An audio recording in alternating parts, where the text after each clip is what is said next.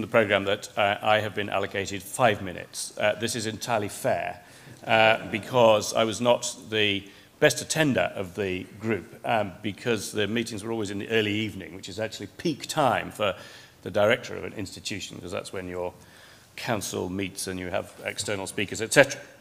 Uh, I hope you agree that this has been a valuable exercise, and I certainly do, although I participated only in part of it, uh, because I have been struck by one unusual feature, I think, of this financial crisis.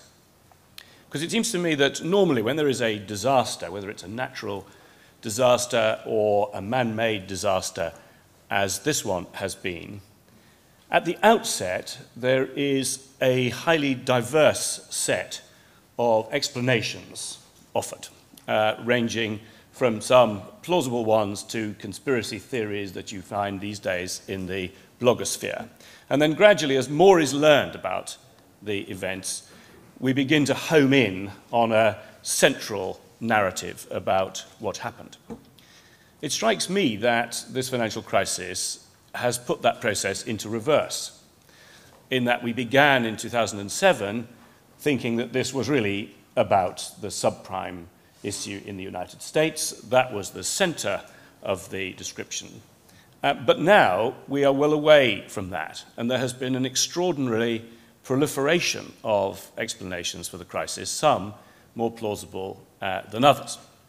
Richard was kind enough to refer to the book on central banking that uh, David Green and I have just produced, but I also have amused myself recently, uh, in parallel with this exercise, in producing a kind of taxonomy of explanations for the crisis, which actually will come out uh, at, on the 30th of this month, called The Financial Crisis Who's to Blame?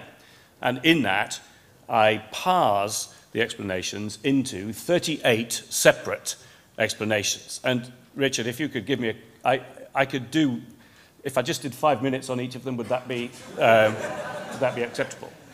Um, but most of them, fortunately, uh, are included in various ways in this uh, text. But I do think it is still extremely important to think clearly through what problems we are trying to resolve. And I have a huge amount of sympathy uh, with what uh, Charles was saying uh, about uh, solutions not closely related to the problems. And we can see at the moment big decisions being made, whether in Basel or indeed here and in the US, on regulatory reform which seem to me to be quite loosely related to any plausible explanation as to why this crisis occurred. Just on regulatory reform in the UK, uh, for the second time in 13 years, we are reforming our regulatory system in a fundamental way and essentially using the same methodology this time uh, as was done last time. Uh, this is the methodology known as load, fire, aim. Um, and last time I was the person who was charged with doing the aiming, and this time I'm delighted uh, that it's Adair and Andy Haldane and others uh, who are doing the aiming, uh, because I think it is not at all clear uh, to which problem, to which version of the problem the new regulatory structure envisaged uh, is a solution. So I hope that this tome and the various contributions in it, some of which you've heard about already and more of which you'll hear about this afternoon, uh, is not too late to influence policy.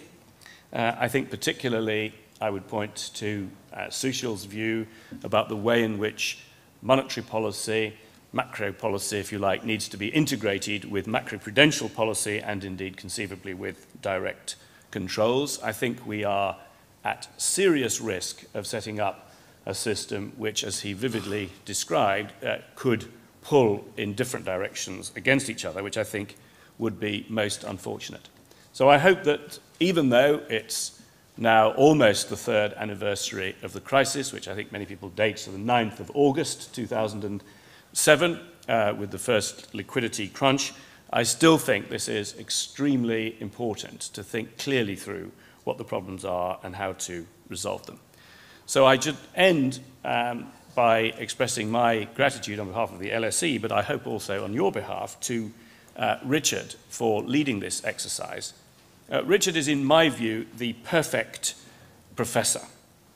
He is provocative, he is productive, uh, he is engaged with the real world, and he is unpaid. Um, because, of course, uh, he did formally retire uh, a little while ago.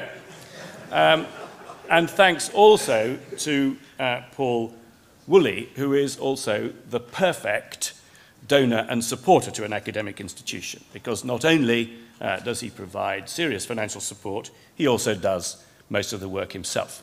Um, so they are both uh, my favourite people in this area, uh, and I thank them uh, on your behalf for leading this project. But I think that probably takes us to lunch. It's not the end. There's more interesting stuff in the afternoon.